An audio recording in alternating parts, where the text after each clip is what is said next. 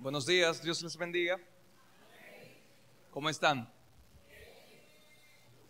Qué bueno, qué bueno que están, que están bien. Vamos a orar y luego vamos a leer en Filipenses capítulo 3. Vamos a, a considerar en esta mañana los versículos del 4 al 6, pero vamos a comenzar leyendo del versículo 1. Vamos a orar. Padre nuestro que estás en los cielos, te damos gracias. Gracias te damos por este tiempo que hemos tenido en tu presencia, recordando el sacrificio que hizo Cristo por nosotros, sacrificio que nos, nos ha renovado, nos ha hecho nuevos y somos diferentes al acceder al Padre, ya perdonados, no por nuestros méritos, sino por los méritos de Cristo. Padre, estamos agradecidos por este tiempo, gracias por permitirnos adorar como iglesia. Y te rogamos en este momento que tú nos hables. Padre, utiliza tu palabra, utilízame para que podamos ser edificados por tu palabra. Padre, tu palabra es la verdad y confiamos en ella, confiamos en ti, porque son tus decretos y tú eres fiel a tu palabra. Padre, te damos gracias en el nombre de Cristo Jesús. Amén. Filipenses capítulo 3, vamos a leer a partir del versículo 1.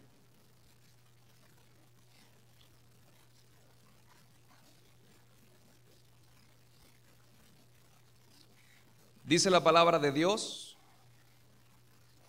Por lo demás, hermanos, gozaos en el Señor. A mí no me es molesto el escribiros las mismas cosas y para vosotros es seguro. Guardaos de los perros, guardaos de los malos obreros, guardaos de los mutiladores del cuerpo, porque nosotros somos la circuncisión, los que en espíritu servimos a Dios y nos gloriamos en Cristo Jesús, no teniendo confianza en la carne. Aunque yo también tengo, aunque yo tengo también de qué confiar en la carne, si alguno piensa que tiene de qué confiar en la carne, yo más, circuncidado al octavo día, del linaje de Israel, de la tribu de Benjamín, hebreo de hebreos, en cuanto a la ley fariseo, en cuanto a celo perseguidor de la iglesia, en cuanto a la justicia que es en la ley irreprensible. El Señor añada bendición a su santa y bendita palabra. Es muy rápido, es muy rápido poder decorar un árbol de Navidad. Es más rápido decorar el árbol de Navidad que esperar más de 10 meses para cosechar un árbol de piñas, sin tener en ese momento la certeza de que la piña salga dulce o salga agria. ¿Qué tiene que ver un árbol de Navidad y uno de piña? En esencia son completamente opuestos. Uno es decorativo y el otro es un cultivo para la alimentación de personas. Son diferentes. El árbol de Navidad puede decorarse de diferentes modos, con diferentes colores. El árbol de piña debe de pasar por algunas etapas de desarrollo que van desde que nace la planta hasta que se cosecha el fruto. Mis hermanos, Pablo en este pasaje está apuntando a cosas que pueden alimentar nuestra confianza en la carne y a la vez debilitan nuestra confianza en Cristo Jesús. La confianza en la carne nos decora muy bien para los demás, pero no nos hace olor gratos para Dios. Mi hermano, Dios todo lo ve, Dios todo lo conoce. Galatas 6, 7 nos dice, no te engañes, no os engañéis. Dios no puede ser burlado. Pues todo lo que el hombre siembra, eso también va a cegar. Cuando nos referimos a confianza en la carne, tomamos de referencia lo que Pablo está mencionando en el libro de Filipenses. Precisamente al final del versículo 3, él dice, no teniendo confianza en la carne. Pero ¿a qué se refiere con confianza en la carne? Esa expresión de confianza en la carne se refiere a todo lo que el creyente consigue por su propio esfuerzo. Es pensando que así, logrando muchas cosas, va a tener mejor méritos que otros ante Dios. Es pensando que mientras más cosas realice, se va a ver más bonito ante Dios. Va a obtener el favor de Dios. El que vive en el Espíritu no se jacta no se llena, no se complace de sus propios logros, sino que solamente se complace en agradar al Señor. No podemos nosotros ganarnos la gracia de Dios por nuestras propias obras, porque Jesús ya lo hizo todo por nosotros. En un escenario de escribas y fariseos, Jesús les dice a ellos, precisamente en Mateo 15, los versículos 8 y 9, le dice, este pueblo de labios me honra. Ellos hablan bonito. Mas su corazón está lejos de mí, pues en vano me honran, enseñando como doctrinas mandamientos de hombres. He aquí el problema. He aquí el problema. La confianza en la carne. El corazón está muy lejos de Dios. Estamos adorando, estamos sirviendo y estamos glorificando a algo más que no es el Señor. En los versículos anteriores, en este capítulo 3 de Filipenses, nosotros encontramos una advertencia importante de Pablo. Él dice, cuídense de los perros. Precisamente aquí dice, guardaos de los perros.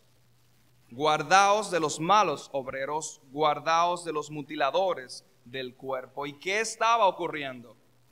Pablo estaba enfatizando una situación que los filipenses tendrían que enfrentar o que estuviesen ya enfrentando.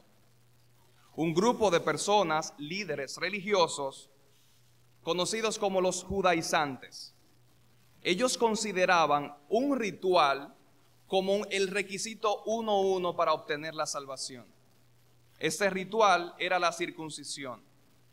Este requisito era obligatorio para que un gentil, una persona que no fuese eh, del pueblo de Israel, pudiera acceder a acercarse a Dios. Si no era circuncidado, entonces para ellos no era una persona grata ni que merecía acercarse a Dios. Esto hacía este, este grupo de líderes religiosos, los judaizantes.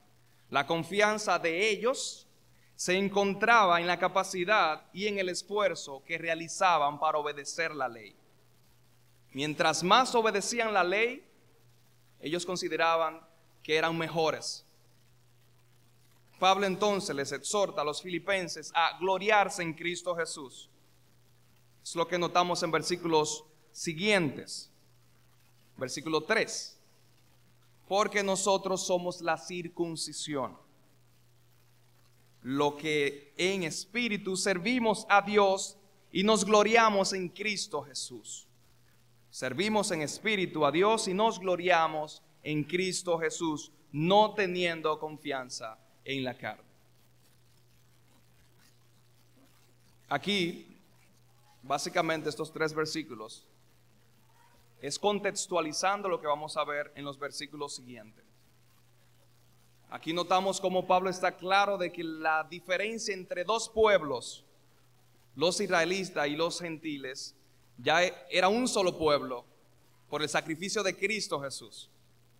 Efesios 2.14 dice, porque Él, Cristo, es nuestra paz, que de ambos pueblos, de los israelitas y de los, y de los gentiles, perdón, de ambos hizo un solo pueblo, derribando la pared intermedia de separación. Mis hermanos, es muy tentador para todos y muy peligroso para todos nosotros cumplir las leyes con un esfuerzo muy grande de nosotros para ganar el favor de Dios. Todos los días somos tentados a ello. Les voy a contar una historia. Había una vez un niño llamado Brandon. Este niño tenía aproximadamente tres años. Él vivía con su padre y un día Brandon vio a su padre comiéndose unas galletas de chocolate. El niño pensó, a mi papá le gustan las galletas de chocolate, pero con leche. Él se está comiendo la galleta, seguramente él quiere leche. Eso fue un niño de tres años. Así que, ¿cuál fue su plan? Déjame ir a buscarle un vaso de leche a mi papá, con tres años.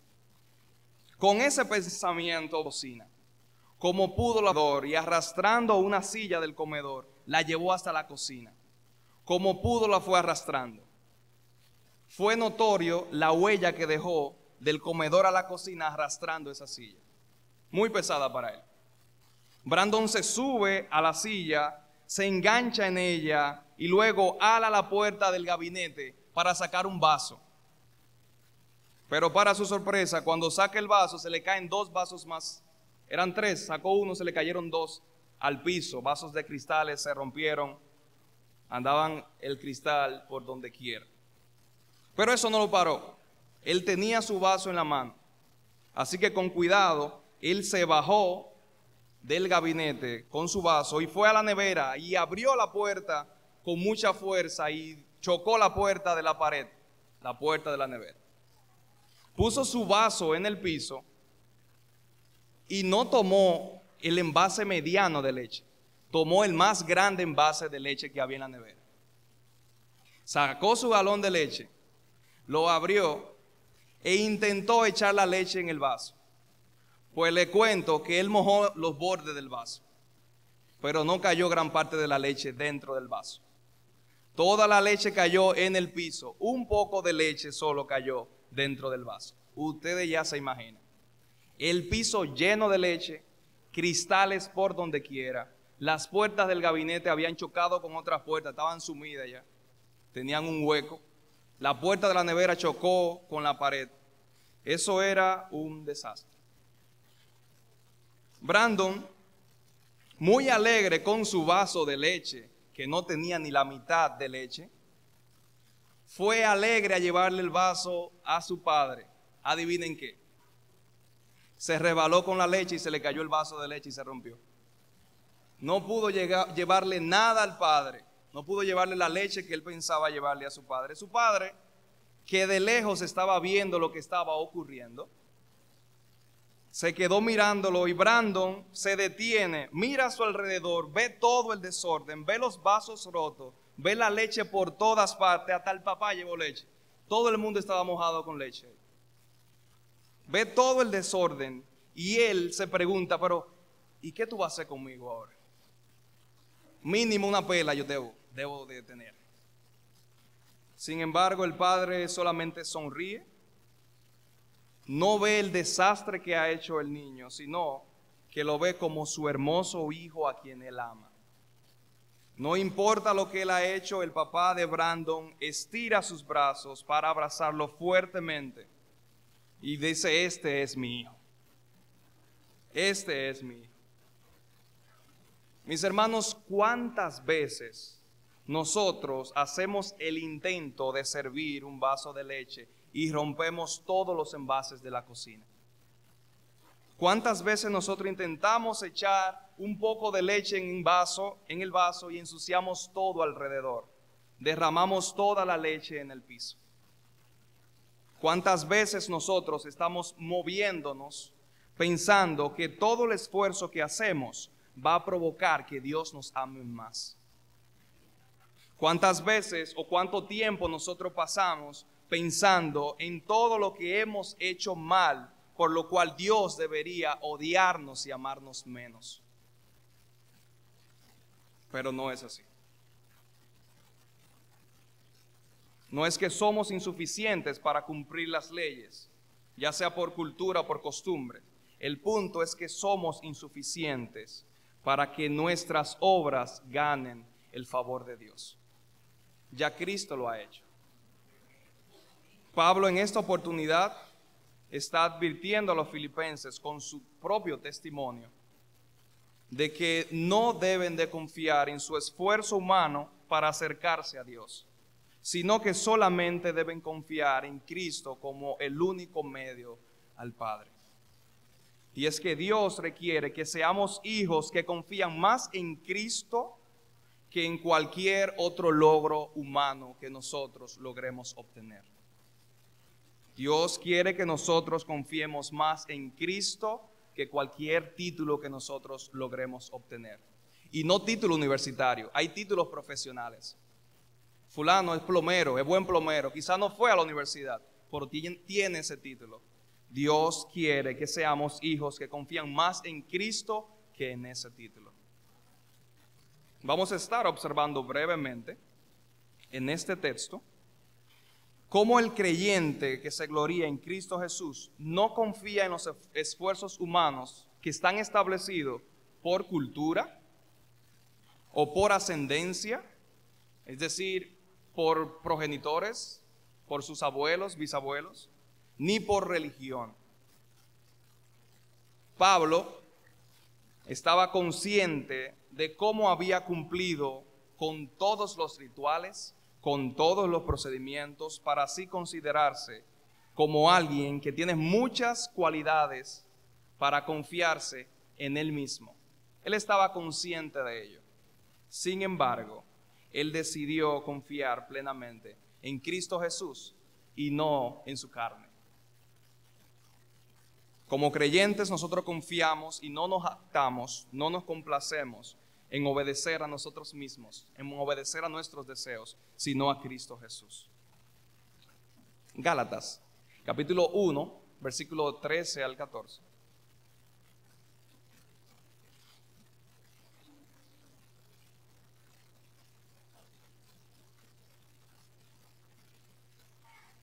dice la palabra de Dios, porque ya habéis oído acerca de mi conducta en otro tiempo en el judaísmo. Eso es Pablo hablando a los Gálatas, que perseguía sobremanera a la iglesia de Dios y la asolaba. Y en el judaísmo aventajaba a muchos de mis contemporáneos en mi nación, siendo mucho más celoso de las tradiciones de mi padre, de mis padres. Pablo conocía toda la cultura anterior del judaísmo. Sin embargo, eso no fue una barrera para que él pudiera entregar su confianza plena a Cristo Jesús. En primer lugar, vamos a ver que el creyente que se gloría en Cristo no confía en los esfuerzos humanos establecidos por su cultura. En la primera parte del versículo 5, vamos a comenzar del 4, pero vamos a tomar en cuenta el 5 ahora.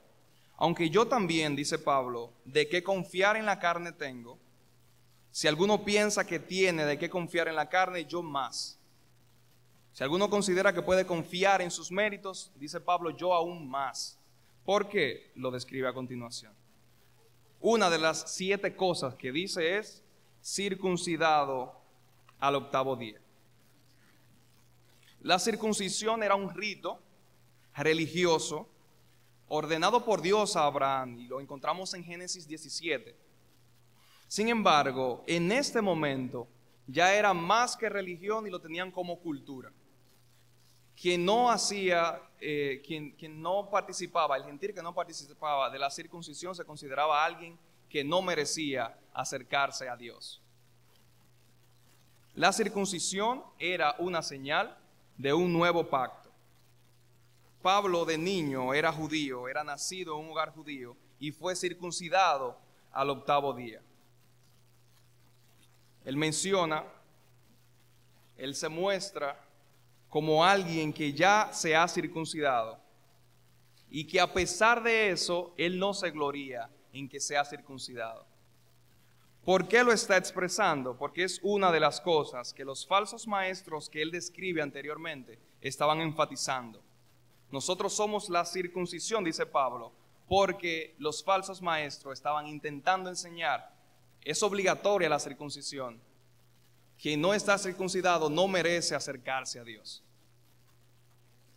Aquí Él nos muestra, somos la circuncisión porque servimos a Dios en espíritu y nos gloriamos en Cristo Jesús. Él había sido circuncidado y seguía gloriándose en Cristo Jesús. Jóvenes, nacer y ser criado en un hogar cristiano es una gran bendición. pero no nos hace cristianos. Alguien decía, si naces en una cochera, y en nuestro lenguaje, si tú naces en una marquesina, eso no te hace ser un carro. Necesitamos confiar en Cristo Jesús y no en nuestra cultura. Necesitamos confiar en Cristo Jesús y no en los méritos de nuestros padres. Pero ¿qué tal si no has nacido en un hogar cristiano? Puedes acercarte a Cristo hoy mismo en fe, porque solo Él te puede ayudar a caminar confiando con sus fuerzas.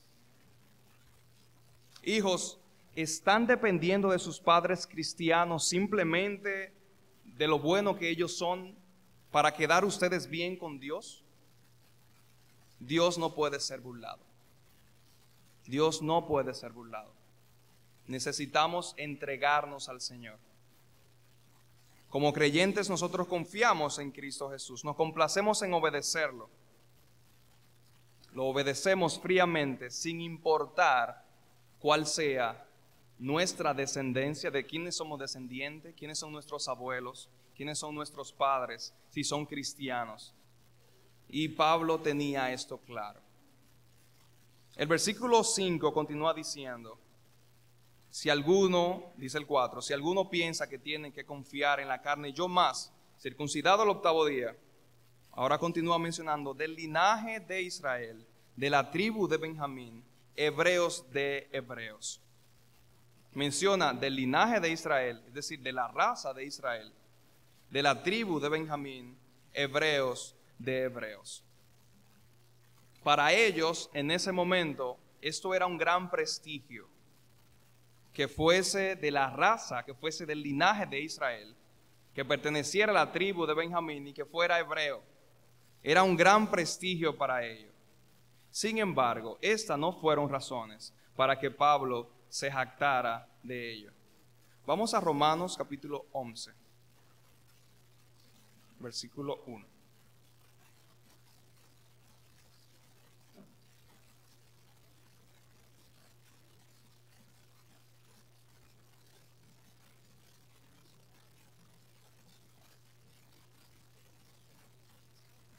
dice la palabra de Dios, Dios pues ha desechado, digo pues, ¿ha desechado Dios a su pueblo? En ninguna manera. Porque también yo soy israelita, dice Pablo, de la descendencia de Abraham, de la tribu de Benjamín. No ha desechado Dios a su pueblo, al cual desde antes conoció. ¿O no sabéis que dice de Elías la escritura, como invoca Dios contra Israel, diciendo, Señor, a tus profetas han dado muerte y tus altares han derribado y solo yo he quedado y procuran matarme? Pero ¿qué le dice la divina respuesta? Me he reservado siete mil hombres que no han doblado la rodilla delante de Baal. Así también aún en este tiempo ha quedado un remanente escogido por gracia. Y si por gracia ya no es por obras, de otra manera la gracia ya no es gracia. Y si por obras ya no es gracia, de otra manera la obra ya no es obra.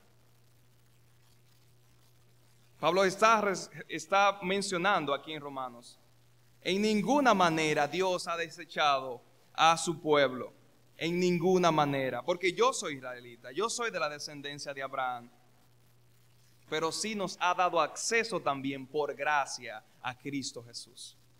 Al igual que ellos, nosotros tenemos acceso a Cristo Jesús y es por gracia de Dios, no por nuestros méritos. Mis hermanos,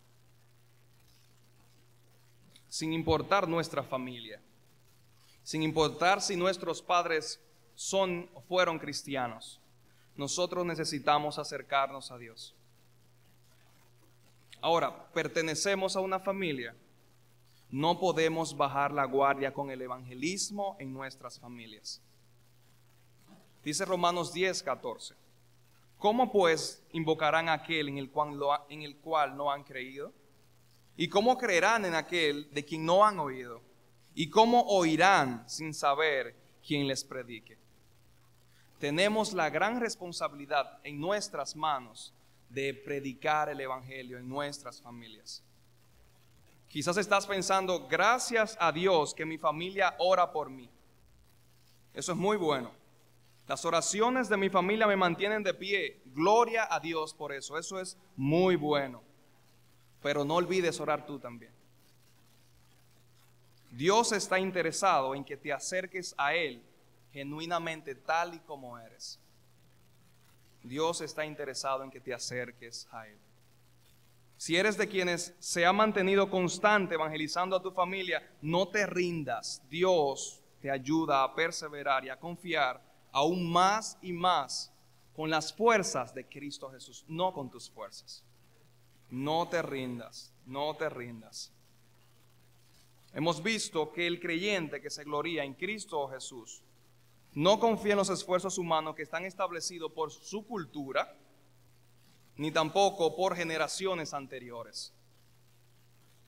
Como creyentes, nosotros confiamos en Cristo Jesús y no obedecemos fríamente por religión, sino que obedecemos por quien es Cristo Jesús.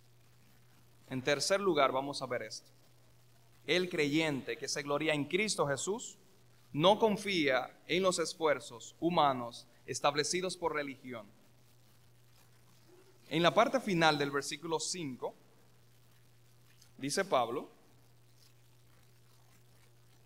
en cuanto a la ley, fariseo. En cuanto a celo, versículo 6, perseguidor de la iglesia. En cuanto a la justicia que es en la ley, irreprensible. Pablo fue fariseo y conocía completamente la ley para los fariseos, lo que ellos hacían, cómo ellos se manejaban. Pablo perseguía la iglesia y era rudo persiguiendo la iglesia. Pablo conocía la justicia que es en la ley, era irreprensible, no que no había cometido pecado, sino que conocía toda la ley y no habían faltas que pudieran decir, no estás cumpliendo con esta ley. Sin embargo, nada de esto fue una excusa para no confiar plenamente en Cristo Jesús. Vamos a ver dos versículos en el libro de Hechos. Hechos capítulo 23,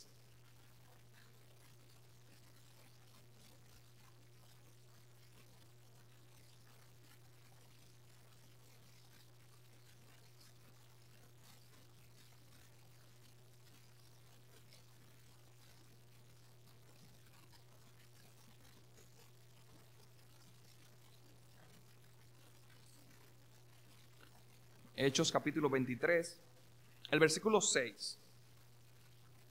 En esta ocasión Pablo se encuentra frente al concilio, está siendo juzgado.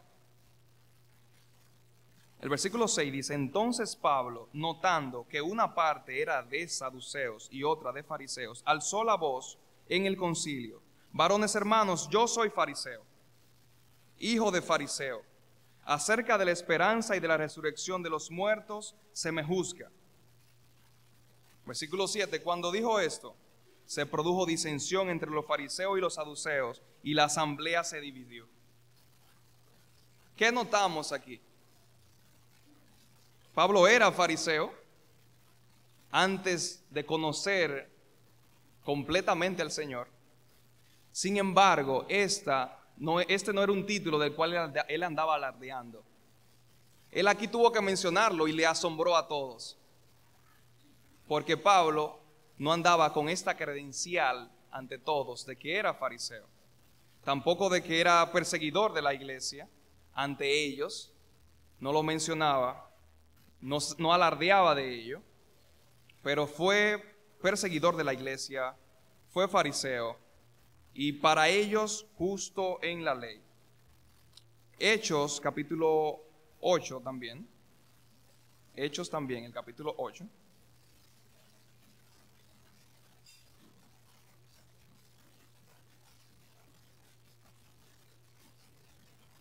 Habla un poquito de las persecuciones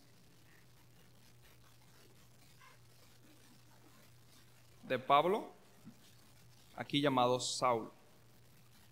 Dice la palabra de Dios, y Saulo consentía en su muerte, En aquel día hubo una gran persecución contra la iglesia que estaba en Jerusalén y todos fueron esparcidos por todas las tierras de Judea y de Samaria, salvo los apóstoles.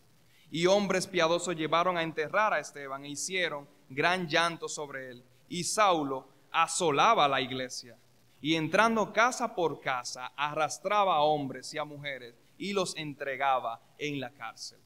Esto hacía Pablo de manera violenta perseguía a los cristianos, los arrastraba y los entregaba a la cárcel, porque era fiel a lo que él había conocido como su religión. Sin embargo, notamos que ni esto que era valioso para todo el pueblo fue un aspecto considerado de valor para Pablo mismo, porque ya su confianza estaba en Cristo Jesús. Había sacrificado todo por Cristo Jesús. Mis hermanos, Dios nos conoce. Dios nos conoce y hoy quiere que nos acerquemos confiadamente y abracemos a Cristo. Confiemos en Cristo porque no somos justos en la ley y no somos irreprensibles.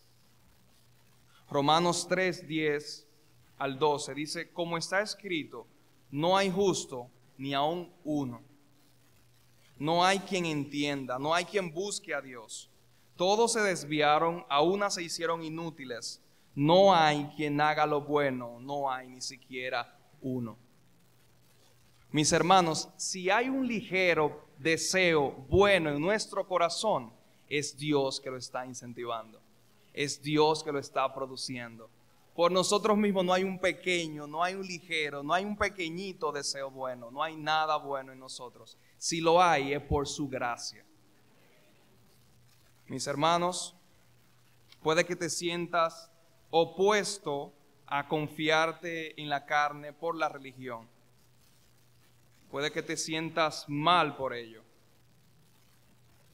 Puede que no te sientas eh, cómodo con confiarte plenamente en la religión de cómo se hacen las cosas. Pero algunas preguntas. ¿Qué haces cuando Satanás te intenta decir que no vale la pena? ¿Qué haces cuando en tu mente la frase que siempre transcurre en ella es que tú no eres digno ni de venir a la iglesia por tu pecado? ¿Qué haces cuando llegan pensamientos de que la enfermedad vino para hacerte sufrir solo o sola? ¿Qué haces en ese momento? ¿Qué haces cuando estás abrumado con tantas cosas y no sabes ni por dónde iniciar? No olvides que tu socorro viene de Dios. No olvides lo que dice la palabra de Dios en Salmos 121, versículo 1 y 2. Alzaré mis ojos a los montes. ¿De dónde vendrá mi socorro? Mi socorro viene de Jehová, que hizo los cielos y la tierra. Mis hermanos, no estamos solos, nuestro socorro viene de Dios. Nuestra propia justicia es incapaz de lograr algo digno para Dios, pero no estamos solos. Nuestro socorro es Dios.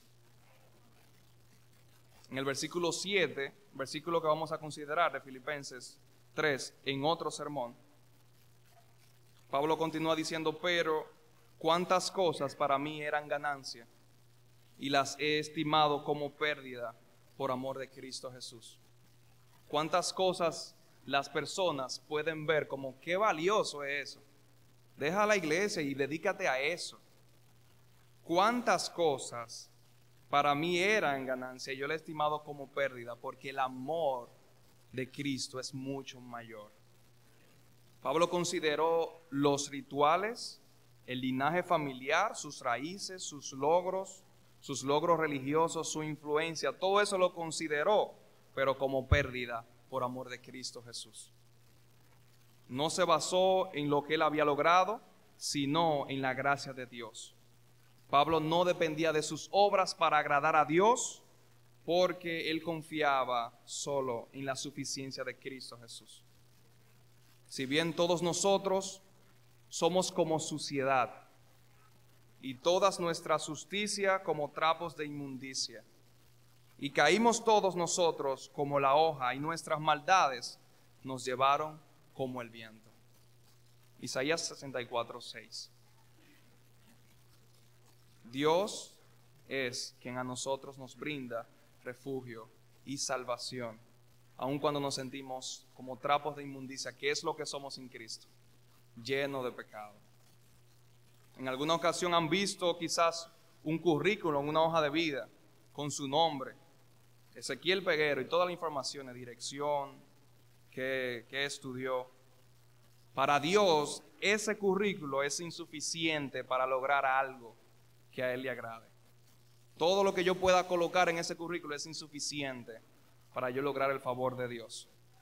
Gracias a Dios que cuando Dios ve nuestro currículum, Él ve los méritos de Cristo Jesús y no los nuestros. Gracias a Dios. Hemos visto cómo nosotros debemos de confiar en Cristo Jesús y no en los esfuerzos culturales, ni familiares, ni por descendencias, ni por religión. Debemos confiar plenamente en Cristo por quien Él es. Y nos quedamos con una pregunta en mente. ¿Qué estamos considerando como pérdida para ganar a Cristo Jesús? Oremos. Padre nuestro, gracias te damos. Gracias porque eres bueno. Gracias, Padre, porque eres tú quien utilizas tu palabra por medio del Espíritu Santo para hablarnos. Si algo nosotros recordamos en esta mañana, si algo nosotros pensamos, yo debo hacer esto, es porque tú en nosotros lo produces. Gracias Dios por tu misericordia. Gracias Padre por vernos con misericordia y gracia. Te queremos pedir que nos ayudes a ser fiel a tu palabra. Padre, Cristo es mayor que cualquier logro que yo pueda obtener. Cristo es mayor que cualquier cosa que yo pueda conseguir. Ayúdanos durante esta semana y toda nuestra vida a recordar que Cristo es mayor que cualquier otra cosa. Padre, ayúdanos a predicar a nuestras familias. Ayúdanos a ser ejemplo, pero de que eres real. Es ejemplo de tu palabra, no ejemplo de nuestros logros. Ayúdanos, Padre, a ser cada día más como Cristo. Que ese sea nuestro modelo a seguir todos los días en cómo hablamos, en cómo nos manejamos con otras personas. Que sea Cristo el centro de nuestras vidas. Gracias te damos en el nombre de Cristo Jesús. Amén. Dios les bendiga.